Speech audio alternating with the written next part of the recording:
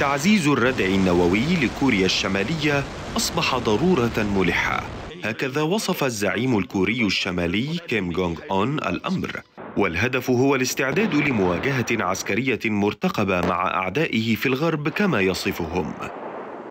حديث زعيم كوريا الشمالية جاء من قلب مصنع لإنتاج منصات إطلاق الصواريخ الباليستية العابرة للقارات. في رسالة أخرى للغرب حول قدرات بيونغ يانغ التصنيعية في معرض الأسلحة المهددة للغرب.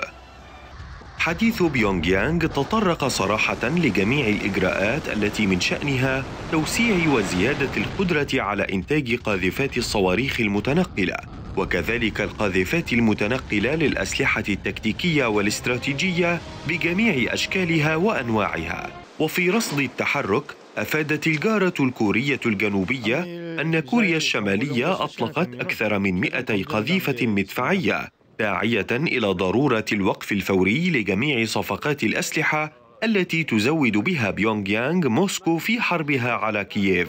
تصريح يدخل روسيا أكثر وأكثر في أتون الخلاف بين كوريا الشمالية والغرب والمتضمن كما تقول دول غربية صواريخ باليستية ومنصات لإطلاق تلك الصواريخ لتعزيز قدرة روسيا في حربها ضد أوكرانيا.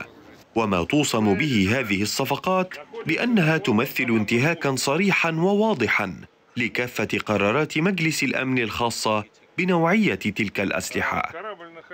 البيت الأبيض من جانبه أعلن على لسان المتحدث باسم الأمن القومي جون كيربي وصف توريد تلك الأسلحة من كوريا الشمالية إلى روسيا بأنه تصعيد كبير ومثير للقلق وقال إن واشنطن ستفرض عقوبات إضافية على من يستهلون صفقات الأسلحة.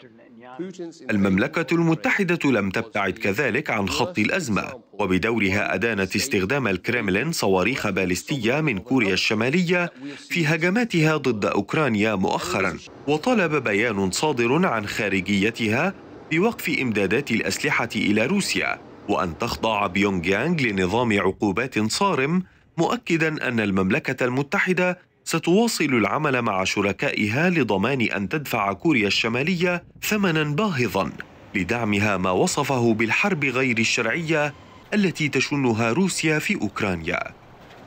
ووسط كل هذا الشد والجذب يرى مراقبون أن التهديدات الغربية لا تثني كيم جونغ أون عن استفزاز الغرب أو الإبطاء أو حتى المواربة حول تحركاته العسكرية على صعيد الأسلحة. في وقت لا تبدو فيه الأمور مرشحة للحلحلة بين روسيا والناتو ما يترك الباب مفتوحا لمزيد من التعقيد وينفث روحا جديدة في جسد الاختلاف القديم بين الدولة الأكثر عزلة سياسية في العالم والغرب.